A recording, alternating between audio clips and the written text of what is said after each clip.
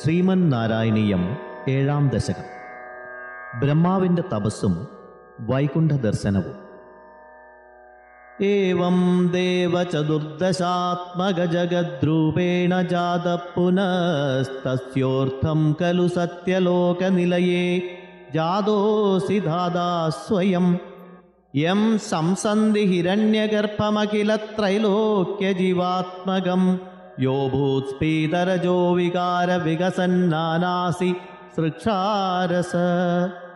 सोऽयं विश्वविसर्गदत्तहृदयः सम्पश्यमानः स्वयं बोधं खल्वनवाप्य विश्वविषयं चिन्ताकुलस्तस्तिवान्।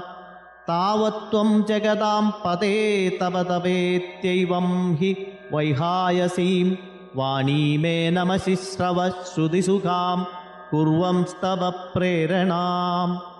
कोऽसौ मामवदत् पुमानिति जलापूर्णे जगन्मण्डले।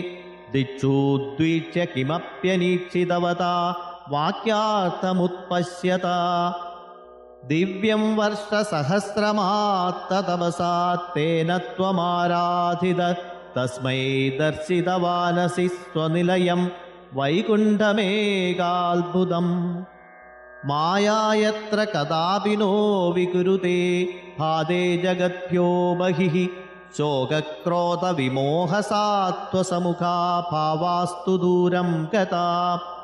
सान्द्रानन्दच्छरी च यत्र परमज्योतिप्रकाशात्मके तत्ते धामविभावितं विजयते वैकुण्ठरूपं विभो यस्मिन्नाम चतुर्भुजा हरिमणिश्यामावदा तत्विषो नानाभूषणरत्नदीपितदिशो राजद्विमानालया।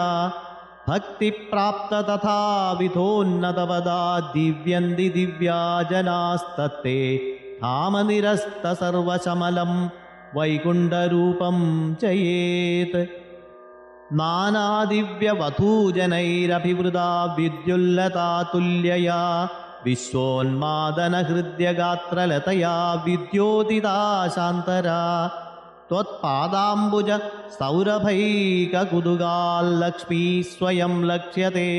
यस्मिन् विस्मयनीय दिव्यविभवात् तत्ते पदं देहि मे तत्रैवं प्रतिदर्शिते निजपदे रत्नासनात्यासितं पार्श्वत्कोडिलसत्किरीडकरगाद्यागल्पदि प्राकृति श्रीवत्साङ्गितमात्तकौस्तुभमणिच्छायारुणं कारणं विश्वेषां तव रूपमैक्षदविधिस्तत्ते विभो भातु मे कालाम्बोदकलाय कोमलरुचीचक्रेण चक्रं दिशा मा वृण्वानमुदारमन्दहसिदस्यन्दप्रसन्नाननम् राजत्कम्बुगदारिपङ्कजधर श्रीमद्भुजामण्डलम् स्रष्टुस्तुष्टिकरं वपुस्तव विभो मद्रोगमुद्वासयेत्।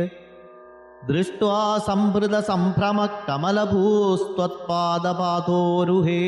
हर्षावेशवशं निपतित प्रीत्या कृतार्थी भवन् जानास्येव मनीषिदं मम विभो ज्ञानं तदा पादयद्वैताद्वैतभवत्स्वरूपपरम् इत्याजष्टतं त्वां भजे। आताम्रे चरणे विनम्रमथतं हस्तेन हस्ते स्पृशन्। बोधस्ते भविता न सर्गविधिभिर्बन्धो विसञ्जायते इत्याभाष्यगिरं प्रत्योष्य नितरां तच्चित्तगूढस्वयं सृष्टौ तं समुदैरयः स भगवन्नुल्लासयोल्लाखताम्। ॐ नमो भगवते वासुदेवाय। श्रीकृष्णपरमात्मने नमः